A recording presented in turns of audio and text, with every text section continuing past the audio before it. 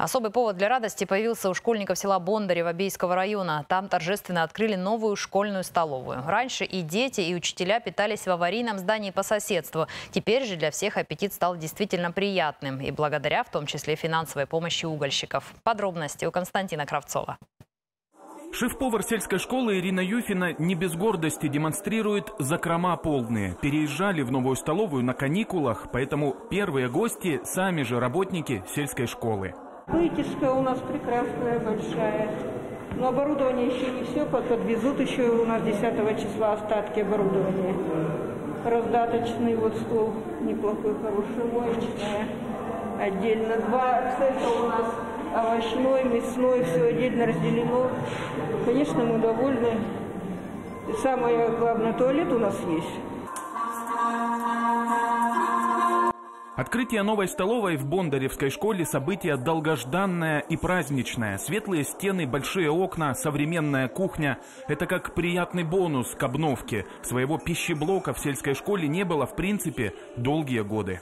Приходилось нам через весь стадион а, проходить столовую. Там, конечно, здание тоже у нас очень старенькое, а, и вкладывать в ремонт этого здания смысла не было.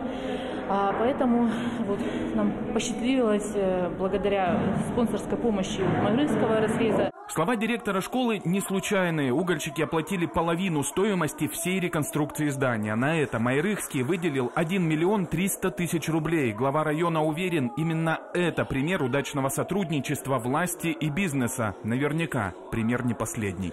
Такое сотрудничество на сегодняшний день, оно позволяет очень много решать вопросов наших, в первую очередь хозяйственных, потому что, понятно, интересно у нас сегодня с бюджетом везде, вот, и, естественно, такой промышленный на сегодняшний день, я не постесняюсь слова, гигант, наш сосед, а то, может, уже и не сосед, э, он очень э, позитивно влияет на развитие. Новая столовая в Бондаревской школе далеко не все, чем помогли угольщики Бейскому району. При их поддержке здесь строятся спортивные площадки, проводится ремонт образовательных учреждений, благоустраиваются населенные пункты.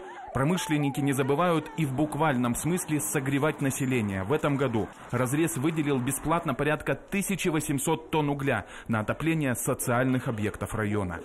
Константин Кравцов, Игорь Брюханов, Вести, Хакасия.